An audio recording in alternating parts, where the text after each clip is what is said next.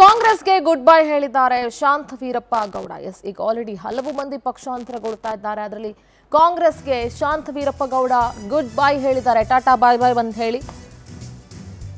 ಶಿಕಾರಿಪುರದ ಕಾಂಗ್ರೆಸ್ ಮುಖಂಡ ಶಾಂತ ವೀರಪ್ಪ ಗೌಡ ಕಾಂಗ್ರೆಸ್ಗೆ ಗುಡ್ ಬೈ ಹೇಳಿದ್ದಾರೆ. ಕೆಪಿಸಿಸಿ ವಕ್ತಾರರು ಕೂಡ ಆಗಿದ್ರು ಶಾಂತ ವೀರಪ್ಪ ಗೌಡ. ನಾನು ಕಾಂಗ್ರೆಸ್ಗೆ ರಾಜೀನಾಮೆಯನ್ನ ನೀಡ್ತಾ ಇದ್ದೇನೆ. ಯಡಿಯೂರಪ್ಪ, ಸಿದ್ದರಾಮಯ್ಯ ವಿರುದ್ಧ ಶಾಂತವೀರಪ್ಪ ವಾಗ್ದಾಳಿ ನಡೆಸಿದ್ರು. ಶಿಕಾರಿಪುರದಲ್ಲಿ ಇಬ್ರು ಕೂಡ ಮ್ಯಾಚ್ ಫಿಕ್ಸಿಂಗ್ ಮಾಡಿದ್ದಾರೆ ಅಂತ ಕಿಡಿಕಾರಿದ್ರು.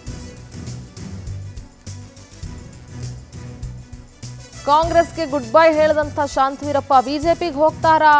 ಅದು ಬೇರೆ ಪ್ರಶ್ನೆ. ಆದ್ರೆ ಇಲ್ಲಿ ಯಡಿಯೂರಪ್ಪ ಹಾಗೆ ಸಿದ್ದರಾಮಯ್ಯ ಇಬ್ಬರ ವಿರುದ್ಧ ಕೂಡ ಗುಡುಗಿದ್ದಾರೆ. ಶಿಕಾರಿಪುರದಲ್ಲಿ ಮ್ಯಾಚ್ ಫಿಕ್ಸಿಂಗ್ ಮಾಡ್ಕೊಂಡಿದ್ದಾರೆ ಅಂತ ಗುಡುಗಿದ್ದಾರೆ. ಬನ್ನಿ ಶಾಂತವೀರಪ್ಪನವರು ಹಿರಿಯರು ಏನು ಹೇಳಿದ್ರು ಕೇಳೋಣ.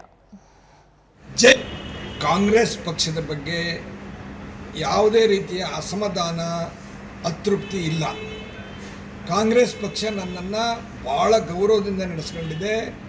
ಎರಡು ಸಾರಿ ನನ್ನನ್ನು ವಿಧಾನಸಭೆ ಯಡಿಯೂರಪ್ಪನವರ ಎದುರಿಗೆ ಮತ್ತು ಅವ್ರ ಮಗ ಎಂ ಪಿ ಆಗಿದ್ದಂಥ ಬಿ ವೈ ರಾಘವೇಂದ್ರ ಅವರ ಎದುರಿಗೆ ಚುನಾವಣೆಗೆ ನಿಲ್ಲಿಸಿ ಇಡೀ ರಾಜ್ಯದ ಜನ ಬಂದು ನನ್ನ ಪರವಾಗಿ ಕ್ಯಾನ್ವಾಸ್ ಮಾಡಿ ಹತ್ತಿರ ಬಂದು ನಾನು ಸೋತಿದ್ದೇನೆ.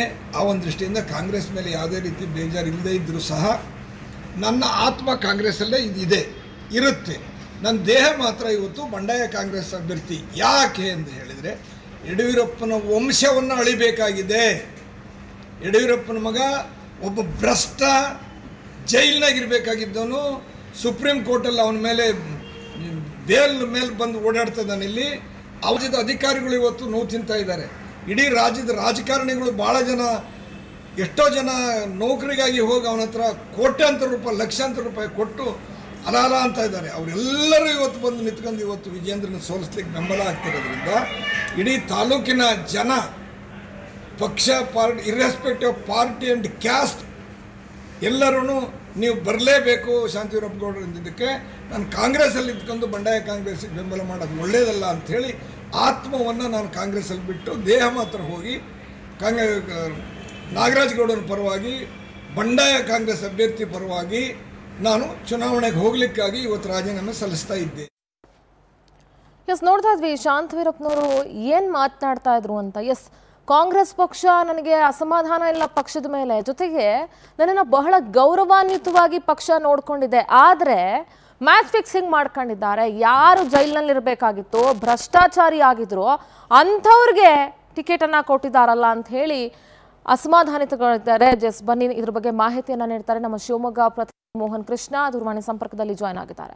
ಮೋಹನ್, ಈಗ ಶಾಂತವೀರಪ್ಪ ಗೌಡರು ಹಿರಿಯರು ಕಾಂಗ್ರೆಸ್ ಪಕ್ಷಕ್ಕೆ ಗುಡ್ ಬೈ ಹೇಳ್ತಾ ಇದ್ದಾರೆ. ಬಟ್ ಅವ್ರ ಮಾತಿನಲ್ಲಿ ನೋವು ಕಾಣ್ತಾ ಇತ್ತು. ಅವ್ರು ಹೇಳ್ತಾ ಇದ್ರು ನನಗೆ ಪಕ್ಷದ ಮೇಲೆ ಅಸಮಾಧಾನ ಇಲ್ಲ. ಆದ್ರೆ ಅವ್ರು ತೆಗೆದುಕೊಂಡಿರುವಂತಹ ನಿರ್ಧಾರದ ಮೇಲೆ ಅಸಮಾಧಾನ ಇದೆ ಅಂತ ಹೇಳಿ. ಸೊ ಏನಿದು ವಿಚಾರ? ಏನ್ ಹೇಳ್ತೀರಿ?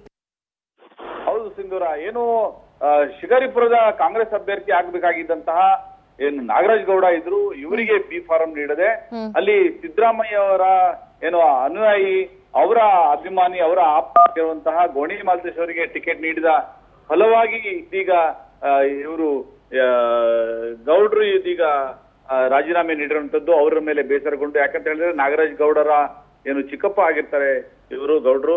ಹೀಗಾಗಿ ಸಿದ್ದರಾಮಯ್ಯ ಅವರ ಜೊತೆ ಮತ್ತೆ ಯಡಿಯೂರಪ್ಪ ಅವರು ಮ್ಯಾಚ್ ಫಿಕ್ಸಿಂಗ್ ಮಾಡ್ಕೊಂಡಿದ್ದಾರೆ ಎಂಬಂತಹ ಕಾರಣದಿಂದಾಗಿ ಇದೀಗ ಈ ಶಾಂತವೀರಪ್ಪ ಗೌಡ್ರು ರಾಜೀನಾಮೆ ನೀಡಿರುವಂತದ್ದು ಅವರ ವಿರುದ್ಧ ಆರೋಪ ಮಾಡ್ತಿದ್ದು ನನಗೆ ಕಾಂಗ್ರೆಸ್ ಪಕ್ಷದ ಮೇಲೆ ಬೇಸರವಿಲ್ಲ. ಆದ್ರೆ ನನಗೆಲ್ಲ ಒಂದ್ ಕಡೆ ಸಿದ್ದರಾಮಯ್ಯ ಅವರ ನಡವಳಿಕೆ ಮತ್ತು ಯಡಿಯೂರಪ್ಪನವ್ರ ಮತ್ತೆ ಅವರು ಏನು ಇಟ್ಕೊಂಡಿದ್ದಾರೆ ಶಿಕಾರಿ, ಶಿಕಾರಿಪುರದಲ್ಲಿ ಏನು ಸ್ಪರ್ಧೆ ಮಾಡಿದ್ದಾರೆ, ಈ ಒಂದು ಹಿನ್ನೆಲೆಯಲ್ಲಿ ಯಡಿಯೂರಪ್ಪನವರು ಸಿದ್ದರಾಮಯ್ಯ ವಿರುದ್ಧ ಮ್ಯಾಚ್ ಫಿಕ್ಸಿಂಗ್ ಮಾಡ್ಕೊಂಡಿರುವಂತದ್ದು ವರ್ಣಾದಲ್ಲಿ ನಿಲ್ಲಬೇಕಾಗಿದ್ದಂತಹ ವಿಜೇಂದ್ರ ಅವರಿಗೆ ಅಲ್ಲಿ ಸ್ಪರ್ಧೆ ಮಾಡದೆ ಶಿಕಾರಿಪುರದಕ್ಕೆ ನಿಲ್ಲಿಸಿ, ಶಿಕಾರಿಪುರದಲ್ಲಿ ಡೆಮ್ಮಿ ಕ್ಯಾಂಡಿಡೇಟ್ ಅನ್ನ ಹಾಕಿದ್ದಾರೆ ಎಂಬಂತ ಇದು ಇಂಪ್ಯಾಕ್ಟ್ ಆಗಬಹುದಾ? ಕಾಂಗ್ರೆಸ್ ಮೇಲೆ ಏನಾದ್ರೂ ಇಂಪ್ಯಾಕ್ಟ್ ಆಗಬಹುದಾ ಅಂದ್ರೆ ಕಾಂಗ್ರೆಸ್ ಅಭ್ಯರ್ಥಿ ಮೇಲೆ ಏನಾದ್ರು? ಹೇಳ್ತಾ ಇದ್ರು ಅವರು ನಾಗರಾಜ್ ಗೌಡ್ರು ಪರವಾಗಿ ಪ್ರಚಾರಕ್ಕೆ ಹೋಗ್ತೀವಿ ನಾವು ಅನ್ನೋ ಮಾತನ್ನ ಹೇಳ್ತಾ ಇದ್ರು. ಏನಾದ್ರು ಇಂಪ್ಯಾಕ್ಟ್ ಆಗುತ್ತಾ? ಹೌದು ಸಿಂಧೂರ ಯಾಕಂತ ಹೇಳಿದ್ರೆ ನಾಗರಾಜ್ ಗೌಡ್ರಿಗೆ ಇವರು ಚಿಕ್ಕಪ್ಪ ಆಗಿರ್ತಾರೆ. ಚಿಕ್ಕಪ್ಪ ಆಗಿರೋದ್ರಿಂದ ಸಹಜವಾಗಿ ಅವರ ಪರವಾಗಿ ಇವರು ಏನು ಕ್ಯಾಂಪೇನ್ಗೆ ಹೋಗೇ ಹೋಗ್ತಾರೆ. ಈ ಒಂದು ನಿಟ್ಟಿನಲ್ಲಿ ನೋಡೋದಾದ್ರೆ ಕಾಂಗ್ರೆಸ್ಗೆ ನಾಗರಾಜ್ ಗೌಡ ಬಂಡಾಯ ಅಭ್ಯರ್ಥಿಯಾಗಿ ಈಗ ಕಣಕ್ಕಿಳಿಯೋದ್ರಿಂದ ಎಲ್ಲೋ ಕಡೆ ಕಾಂಗ್ರೆಸ್ಗೆ ಇದರ ಎಫೆಕ್ಟ್ ತಟ್ಟತ್ತೆ ಅಂತಾನೆ ಹೇಳ್ಬೋದಾಗಿದೆ. ಗೋಣಿ ಮಾಲ್ತೇಶ್ಗೆ ಈ ಒಂದು ಎಫೆಕ್ಟ್ ತಟ್ಟತ್ತೆ. ಯಾಕಂತ ಹೇಳಿದ್ರೆ ಸಿದ್ದರಾಮಯ್ಯ ಅವರ ಅನುಯಾಯಿ ಆಗಿರುವಂತಹ ಗೋಣಿ ಮಾಲ್ತೇಶ್ ಅವರಿಗೆ ಟಿಕೆಟ್ ನೀಡೋ ನೀಡಲಾಗಿರುವಂತದ್ದು. ವಿಜೇಂದ್ರ ಅವರು ಇಲ್ಲಿ ಸ್ಪರ್ಧೆ ಮಾಡ್ತಾ ಇರೋದ್ರಿಂದ ಪಕ್ಕಾ ಇಲ್ಲಿ ಸ್ಪರ್ಧೆ ನಡೆಯುವಂತದ್ದು ಸಹಜವಾಗಿತ್ತು. ಹೀಗಾಗಿ ಗೋಣಿ ಬೇಡ ಆಗಿತ್ತು ಎಂಬಂತ ಮಾತು ಇದೀಗ ಕೇಳಿ ಬರ್ತಾ ಇರುವಂತದ್ದು ಈ ಒಂದು ನಿಟ್ಟಿನಲ್ಲಿ ಗಮನಿಸೋದಾದ್ರೆ, ನಾಗರಾಜ್ ಗೌಡ ಇಲ್ಲಿ ಸ್ಟ್ರಾಂಗ್ ಕ್ಯಾಂಡಿಡೇಟ್ ಅಂತ ಹೇಳಿದ್ರು, ಯಾಕಂತ ಹೇಳಿದ್ರೆ ನಾಮಪತ್ರ ಸಲ್ಲಿಸುವ ದಿನಾಂಕದಂದು ಕೂಡ ಇವರು ಸುಮಾರು ಇಪ್ಪತ್ತೈದು ಸಾವಿರಕ್ಕೂ ಹೆಚ್ಚು ಜನರನ್ನ ಸೇರಿಸಿ ನಾಮಪತ್ರವನ್ನು ಸಲ್ಲಿಸಿದ್ರು. ಮೆರವಣಿಗೆ ಬೃಹತ್ ಮೆರವಣಿಗೆಯನ್ನ ನಡೆಸಿದ್ರು. ಈ ಒಂದು ಹಿನ್ನೆಲೆಯಿಂದ ಗಮನಿಸೋದಾದ್ರೆ ಇಲ್ಲಿ ವಿಜೇಂದ್ರ ಅವರಿಗೆ ಟಕ್ಕರ್ ನೀಡುವಂತ ಕ್ಯಾಂಡಿಡೇಟ್ ನಾಗರಾಜ್ ಗೌಡ ಆಗಿದ್ರು ಎಂಬಂತ ಮಾತು ಈ ಶಾಂತವೀರಪ್ಪನದ್ದು ಈ ಒಂದು ಆರೋಪದ ಹಿನ್ನೆಲೆಯಲ್ಲಿ ಇವತ್ತು ರಾಜೀನಾಮೆ ಪತ್ರವನ್ನ ಸಲ್ಲಿಸಿರುವಂತದ್ದು ಸಿಂಧುರ. ರೈಟ್ ಮೋಹನ್ ಕೃಷ್ಣ ಧನ್ಯವಾದ ತಮ್ಮೆಲ್ಲ ಮಾಹಿತಿಗಾಗಿ.